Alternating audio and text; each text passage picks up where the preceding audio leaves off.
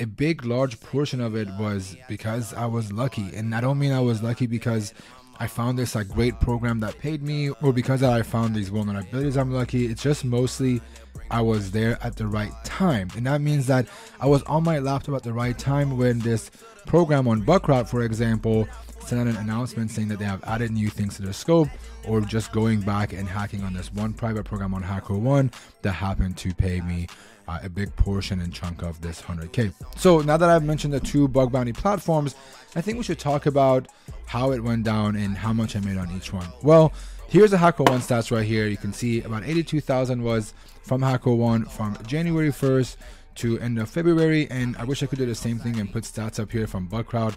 They don't have that kind of dashboard as far as I can tell.